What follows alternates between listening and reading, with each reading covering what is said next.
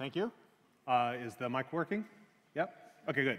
So uh, I'm Larry Hastings, and this is Python's infamous GIL. I'm going to talk about the GIL. I'm going to talk about what it is, um, what problem it's trying to solve, how it solves it, what the ramifications of those choices are, uh, what its history is like, and what its future is like. And uh, I originally proposed this talk uh, at being a bit of a more of an advanced level, and the way that I wrote it, it's really kind of friendly for beginners too, so uh, don't get scared. So let's run the, back, the clock back to 1992. Python's about two years old. Um, it was still young and fresh and evolving rapidly. It was mostly used around CWI, where Guido was working, uh, but it had also been released on the internet. There was a new technology out there uh, in operating systems, something called multi-threading. This isn't something that people uh, had dealt with very much to date. It was, uh, it was seen on Mach, I think it was available on SunOS. Uh, most operating systems didn't support it. Uh, it was in the betas for the new operating system from uh, Microsoft called Windows NT. Uh, but this multi-threading, what it was is it was kind of like multi-process, except that it was all in one process. You had multiple threads of execution happening inside of the same process while all the, the same shared state. Uh, people wanted to try experimenting with threads in Python, uh, but you couldn't just start adding threads and expect everything to work. Um, there was going to be a problem. The first problem is uh, globals. So a global in C is kind of like a module attribute in Python. Um, it's something, there's only one of them, and everybody knows where it is. If you have multiples of these threads and are all trying to talk to the same global variable, um, you're probably going to have problems. As an example of one of these uh, globals in Python, um, there's a pointer to the current executing frame object. And that's, there's one of them, and it's a global variable, and everybody can see it. If multiple people tried to play with the frame object pointer, you'd have trouble. An even worse problem, though, is uh, reference counting. So Python uses a technique called reference counting to manage the lifetimes of objects, um, to destroy them when nobody's interested in them anymore. And I'm going to do a deep dive right now about what reference counting is, how it works, and how, what the ramifications are of reference counting is with uh, multi-threading. So, reference counting. Inside of the Python interpreter at runtime, every single Python object starts with these two fields. Um, the second one is the type of the object, and the first one is what's called the reference count. This is an integer, and this integer tells you how many people are interested in this object right now, how many people are holding references. So if the reference count is three, that means that there are three pointers pointing at this object. And what you do with this reference count is every time you take a new reference to the object, you increment that number.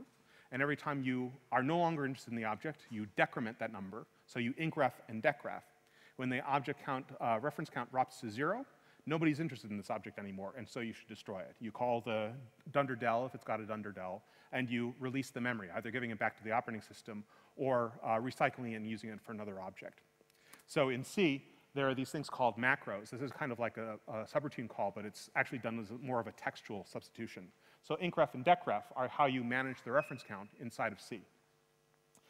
Um, these are what they look like today. The ones in 1992 looked much the same.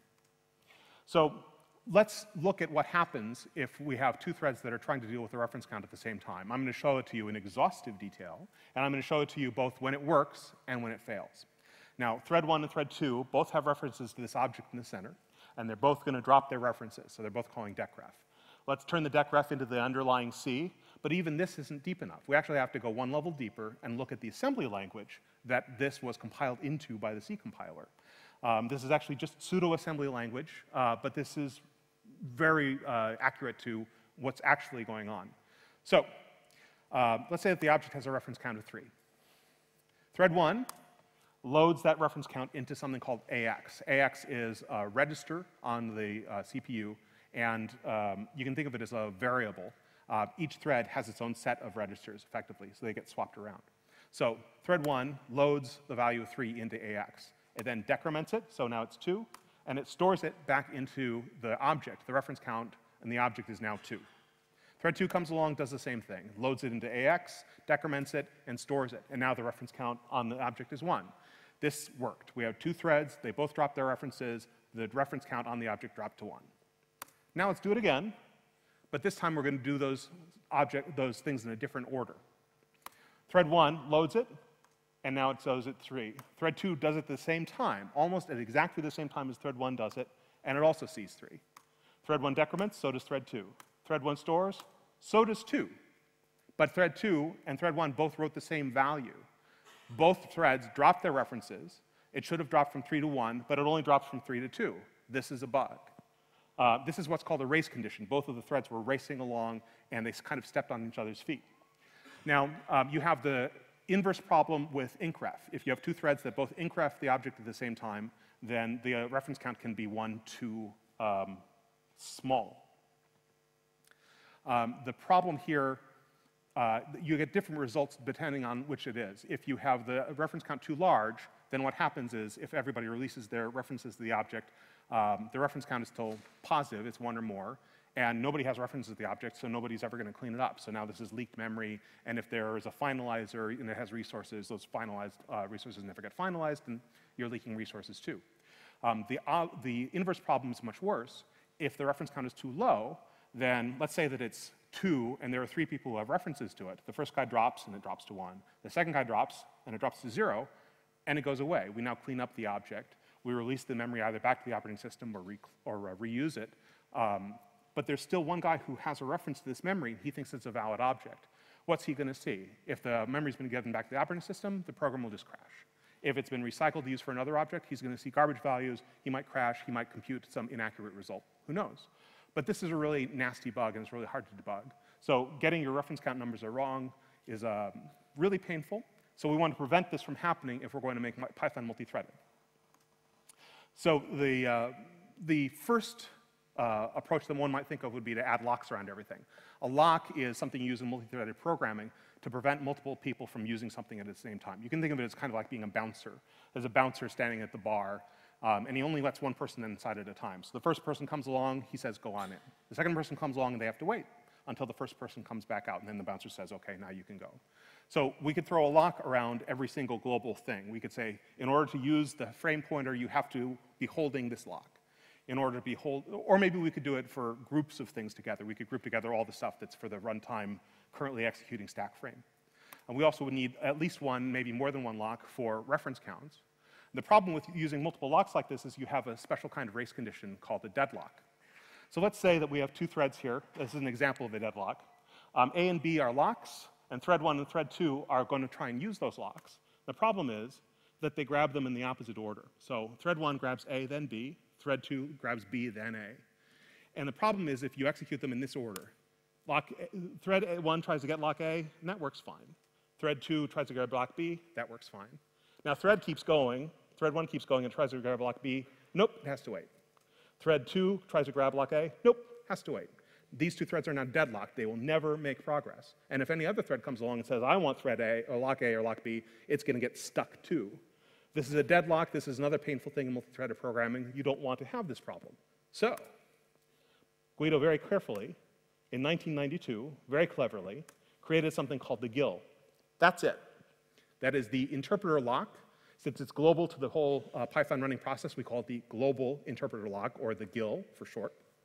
Um, that's what it looked like in 1992, um, almost two years to the date, by the way, since uh, the Python repository was created. If you want to see what it looks like today in Python 2.7, that's it. It really hasn't changed uh, in uh, whatever this is, 23 years. In Python 2.7 anyway, we'll get into that in a minute. Um, now, in order to interact with the Python interpreter uh, to do anything, you have to be holding the interpreter lock. In order to interact with an object, in order to run Python bytecodes through the interpreter, you have to hold the GIL, um, which is um, both good and bad. So let's talk about the good. This is simple. Uh, simple is easy to get right.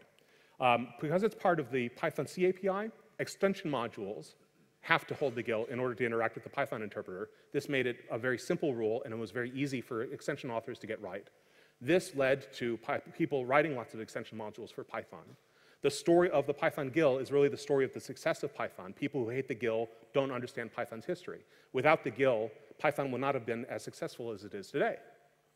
So, also, because you only had one GIL, you can't have a deadlock because there aren't two locks that you have to deal with.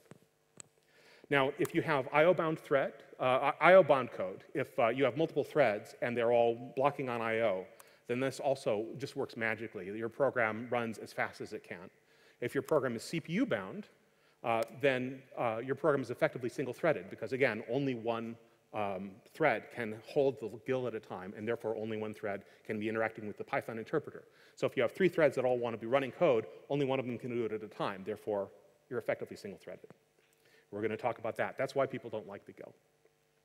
Now about this, uh, the reason that it works magically for IO-bound code, um, there's, a, there's another one of these macros. It's uh, two of them, actually, begin allow threads and Py end allow threads. So Guido realized if you're going to go off and do some long computation in C, if you're going to be calculating some long Fibonacci number or you're going to be blocking on I.O. or something, you're not going to be interacting with the Python interpreter, you might as well drop the GIL. Let somebody else use it for a while, and then you can go and grab it again when you need it. So that's what these macros do. And these are, again, very easy to use. You can use them in extension modules. They're used all over in the Python source code. Anytime you're going to do something that might take a while, drop the GIL, do your thing, grab it again. So what's examples of these things? If you're going to go to sleep, obviously you don't need the GIL. If you're going to read or write from a file handle, you can drop the GIL. If you're going to read or write from a socket, you can definitely drop the GIL, because that could take who knows how long. But sharing the GIL in CPU-bound code, that doesn't work. Now, the GIL didn't change, like I said, for a very long time. Um, in 2009, David Beazley gave a presentation at a Chicago area uh, Python user group. David Beazley is a computer researcher. He loves Python, and he's very interested in the GIL, so he's played with it a lot. And he discovered some things that were kind of awful. So first of all, um, when you have uh, multiple threads that are trying to use the GIL, there's an internal thing in Python. Um, I should have put it on the screen. It's not there. It's called the sys.set check interval and sys.get check interval. Um, this is a number that's set to 100. And what that says is every 100 bytecodes, the currently running thread is supposed to say, OK, let somebody else have a turn. That doesn't work. Um, here is a diagram showing two threads running at the same time. They're both CPU bound. They both want to use the GIL all the time they can. And um, you can see that little arrow there. That's 66,000 ticks. This is 667 times longer than it was ever supposed to be. This checkerboard was supposed to be like tiny little slices, and they're running for a very long time. So people aren't releasing the GIL when they're supposed to. But it gets worse. If you have two threads, and one of them is I.O. bound and the other one is CPU bound, what you want is the, CPU, the, the I.O. bound thread doesn't run for very, very often, and it doesn't run for very long. It does a little work, and then it waits on a socket. And then it does a little more work, and it waits on a socket. You want to let that thing run whenever it's ready to run. So if you have a CPU-bound thread and an I.O.-bound thread in the same process, you want to prefer the I.O.-bound thread. Here, the CPU-bound thread is getting all the time, and the I.O.-bound thread never gets to run. This is what's called priority inversion in the world of uh, operating system schedulers. And uh, Python had it in a really bad way. The problem is this code that's supposed to be releasing the GIL and letting other people have a chance to run. So this is it. Um, what it does is this pythread state swap thing, that's this macro that we saw before, this pi um, allow begin thread or what it was called, end thread and begin thread. So this is releasing the GIL here. Then we say, other threads can run now. And then the immediate next thing we do is acquire the lock. So what was really happening is if we have two threads, and this one is, has the GIL right now, and this one wants it, he's saying, you can have the GIL. Oh, I take it back. You can have the GIL. Oh, I take it back. This guy never gets a chance to get the GIL. And it's worse, if he's CPU bound, he never has a chance. And if he's IO bound thread, he, he's never got a chance. So um, this, by the way, is still what Python 2.7 is like. This is Python 2.7. It was fixed in Python 3 in 2009 by Antoine Pitrou. He wrote what's called the new GIL, which is only a minor change to the GIL, um, it added a new variable called GIL drop request, which is uh, something called a condition variable. In effect, this is a flag. Uh, if the second guy is trying to grab the GIL and he's not getting it, he sets this flag and says, look, there's somebody waiting, you really have to give it up. And then the first guy who releases it, he releases it and he looks and he sees this flag is set and he says, oh, I really have to back off and let other people have a chance. So with this change in place, the really bad behavior that David Beazley was saying is fixed. There are still funny conditions that you can arrive at where um, you can still starve threads uh, for CPU time and uh, never getting the GIL, but it's a lot less bad now. And to fix those really funny conditions would, make, uh, would require making the GIL a lot more complicated. Um, and what we're really talking about at this point is writing a scheduler. And uh, I only know a little bit about operating system research, but I can tell you that writing a scheduler is very complicated. And the more fair you want to make it, the harder the problem it becomes. And this is really kind of a, a rat hole that we don't want to go down in the Python uh, source tree. So um, the plan was we were going to try a GIL this way and see if it worked okay. And basically, it's been fine, and we just want to leave it alone. So this is the GIL that's in, two seven, in uh, 3.2 and above, I think. Now, meanwhile, while we haven't been paying attention to all this, the world has kind of changed around us. So I remind you, Python itself was written in, 2000, in uh, 1990, uh, originally created in 1990, and multi-threading was added in 92, I think. Uh, now, you didn't see multiple cores, you didn't see multiple CPUs in a computer very often back then. You'd have to actually go and get a second CPU and have both of them on the motherboard. I had a computer like that in 1995, 96. I had two Pentium 133s in one single computer, but I was kind of a weirdo. You didn't really see it prevalent until you had multiple cores on a single CPU, and you didn't see that until about 2005. That's when server CPUs and desktop CPUs, and actually the CPUs used in game consoles for the home, those all went multi-core in 2005. And that's when we started really seeing a lot of uh, uptick in uh, multi-core use in programming. Laptops themselves went uh, multi-core in 2007. Tablets and phones and systems on a chip that are embedded in very small projects, those all went multi-core in about 2011. Eyeglasses went multi-core in 2013. Watches went multi-core in 2014. Ladies and gentlemen, eyeglasses and wristwatches are now multi-core. We live in a very multi-core world, and we still don't have a solution for running Python on multiple cores simultaneously. Now, uh, Guido has talked about this. He wrote a blog post uh, back in 2007. He said, um, and he said, by the way, Python 3K, that's the old name for Python 3. Um, he said, I'd welcome a set of patches in the Py3K only if the performance for a single-threaded program and for a multi-threaded but I/O-bound program does not decrease. This is a tall order. It's been almost eight years. Nobody has done it. We're not sure how to do it. People have tried in the past. There was a famous patch uh, back in the Python 1.4 days called the free threading patch. Um, what it did, it didn't require changing the C API, which is good. Um, it took all of those global variables, like the pointer to the current frame, um, it stuck them all into one single dict, um, or a, a, struct, excuse me, a C struct, which is roughly equivalent to a Python class. So now you could have more than one of them. So he created one per thread, and now they didn't stomp on each other. And then he added a single uh, lock, a mutual exclusion lock, around incref and decref. So you had to be holding this lock in order to do an incref or a decref. And so you would grab it, do your plus or minus, and release it. This added so much overhead that performance is terrible. It was about, it was between four and seven times slower. And this is results based on uh, David Beazley reviving this, this uh, patch like 10 years later. Uh, a couple of years ago, a guy named Antoine Pitrou, who's around the conference today, um, he tried something um, using atomic test and set. So modern computers actually have a machine language instruction that is a single instruction that says, subtract one from this value over here. So you remember those three instructions, load, decrement, and, and, store. It combines those into a single instruction, which it guarantees will happen atomically, and you'll never have any problems of races. So that's good. Um, it doesn't require any API changes, which is also good but it makes it 30% slower. So again, it doesn't meet the bar that Guido was talking about. Now here's something to consider. There are four big Python interpreters in the world. There's CPython, and then there's everybody else. CPython has a GIL, everybody else doesn't. CPython uses reference counting, everybody else doesn't. What do the other people use? They use something called garbage collection, mark and sweep garbage collection. You can if you, if you have uh, garbage collection, you don't need the GIL nearly as much. It's very easy to say, okay, we can get around it. Um, PyPy actually has a little bit of a GIL that they just use during garbage collection cycles. They say it wouldn't be that, you know, it'd be kind of a pain to get rid of it, but it's not impossible. It's impossible to get rid of the GIL as long as we're using reference counting. So people say, we should go to garbage collection with Python. Okay? The problem with that is that that changes the API. We change, um, so in order to talk to the Python interpreter you call the CAPI, in order to deal with objects in the CAPI, you have to understand Python's memory management approach. So C, external programmers have to know incref and decref. If we got rid of those and changed to uh, garbage collection, that changes the API. That breaks every extension out there. There are a lot of extensions for Python. We don't want to break them. So I'm not sure that we can do this. Would it be any slower? Would it be faster?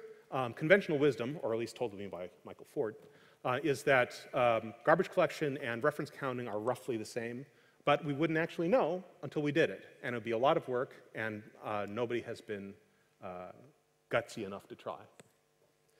Here's something else to consider, though. So all the major languages that have come out since Python was invented, like you know, the JVM, uh, for Java and the CLR for uh, C Sharp, all, uh, Rust and Go, all these things are using garbage collection. Also, all of them don't have C APIs. PyPy doesn't have a C API either. Now, why is that? Well, the obvious reason is that these languages are generally considered about as fast as C. So the reason for writing a C extension to speed things up, you don't need it. Um, they all have the ability to call out into a C library. And so um, maybe they think that, well, you just don't need it. You know, you can call out to a C library and you don't need the optimization of an extension, so we don't need the C API. But another thing to consider is that, like I've just said, having a C API means exposing your memory management model to the world, which means that now your hands are tied. If you change that memory management model, you break everybody's C extensions. If they don't expose the memory management model to the world, they are now free to change it internally. PyPy started out with a simple mark and sweep, I think. He can correct me. Um, it started out with simple mark and sweep, and over time it became generational and became an incremental collector. And Armin told me that um, the change to incremental wouldn't have broken anybody's code. The change generational probably would have. If they had exposed the C API, they would have been free to make those changes, and PyPy wouldn't have the better man memory manager that it does. So if CPython switched to garbage collection, again, this would break every C API out there, and then if we made improvements to it later, we might break everybody again. So in my opinion, um, I think that if we went the route of trying to change to a garbage collection, we should probably give up on having a C API. Which again, we break everybody's C extensions and we don't fix them again. Instead, we say, rewrite your extensions in Python and use CFFI, which by the way is wonderful because then that lets you run on PyPy, and also Jython and IronPython are talking about um, CFFI support. So this would mean that your extensions were now portable across Python implementations. I think polit for political reasons, the only thing that we could really talk about is atomic test and set. And even with the 30% speed loss, um, I think that the pressure for supporting multi-core is going to get big enough that we're really going to have to look at doing this. That's it.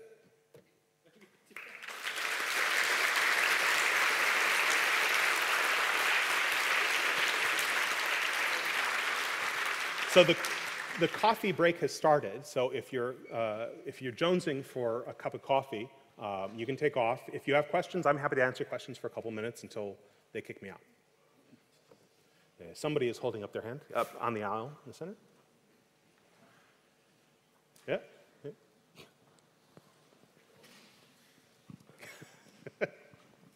Uh, first of all, thank you very much for this awesome talk.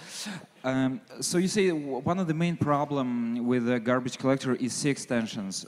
But what if uh, somehow mark the code as pure Python code that doesn't interact with the C extensions, and there you can, with those objects, you can you can do garbage collection, and somehow mark that the code that interacts with the C extensions, and there use GIL or atomic increments decrements, because like there is a lot of uh, pure Python code out there. Okay. That, uh, wh why not why not use garbage collection there? Python, code that runs in Python doesn't care about whether it has a garbage collector or whether it's uh, reference counted. So I kind of didn't un understand your question. Maybe you're going to have to clarify it. But I will point out to you that CPython has reference counting, and all the other Python implementations use garbage collection, and your code still runs either way. So it doesn't matter. So I'm not sure I'm answering your question. Uh, I mean, imagine you have a pure Python program that doesn't interact with any uh, C extensions. What prevents having a garbage collector there? Nothing you can run it today because you can run it under Jython or Iron Python or PyPy, and those have pure garbage collection. They don't have. No, I mean, what? Why not to implement it within CPython? I'm sorry. Why not to implement it within uh, CPython? Uh, why not implement it in CPython? Because that breaks all of the C extensions, and people use C extensions all the time. Yeah. And, and, and to provide a, a, data point for this, it, can I interrupt, Larry? Sure. So um, Resolver Systems at one point implemented something called Ironclad, which was um, an implementation of the Python C API for IronPython. And uh, IronPython doesn't have a GIL and it doesn't use reference counting. But all of the, we maintain binary compatibility with the existing, um, with existing binaries, because this was for Windows and people basically basically can't compile their own extensions there. And so what you have with those existing binaries is you have um, C objects, effectively Python objects implemented in C, that expects to use reference counting. Um, um, And so um, we had a hybrid system. We objects that were returned from the C extension, we artificially inflated their reference counting by one so that the, the macros compiled into the binaries would never be triggered by getting down to zero. Uh, and then we had a, a, a proxy object that um, if, if garbage collection was entered for this object, then we would, um, then we would trigger reference ca- counting for the, um, we would decrement the reference count to zero.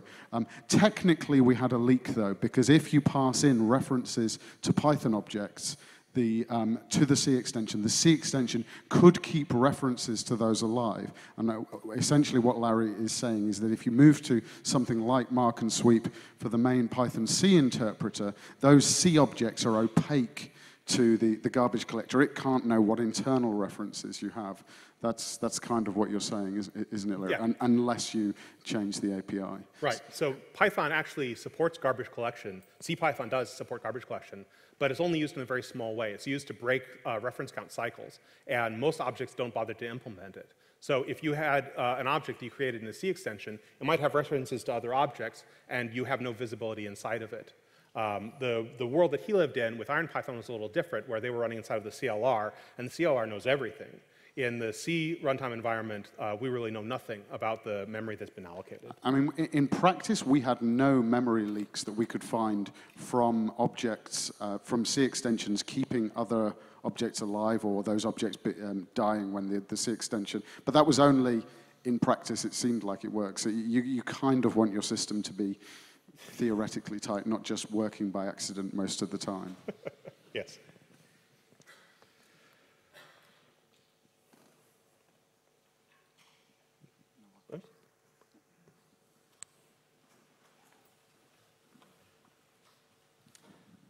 So I guess the, the answer to my question is no, but is it possible that two threads think that the GIL is free? They No. claim it, and then something strange No, happens? the, the, the, the lock objects are provided by the operating system, and they're very good. So uh, one, one thread grabs the, the lock, and the operating system does a very good job of only one, allowing one person to have it at a time. Yeah, it's not fast. It's, it depends on the operating system, actually. Like Linux has what they call the futex, and I think uh, uh, Python may use futexes on uh, Linux, so that is very fast. Uh, it depends on the operating system. Some locks are actually pretty slow. But we live in 2015. I think all of them are fast these days.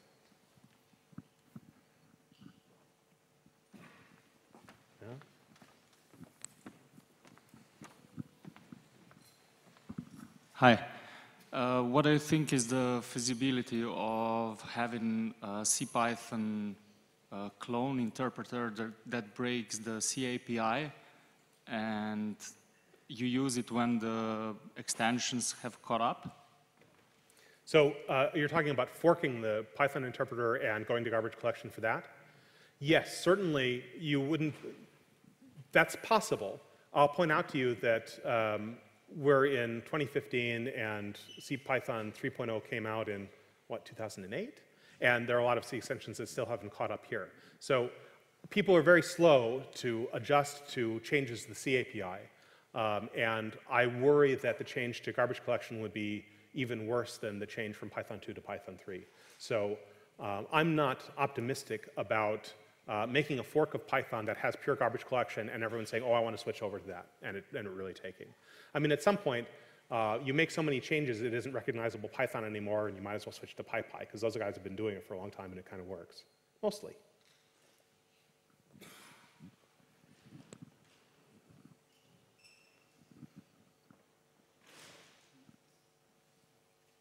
Okay, I think everybody wants to go to coffee.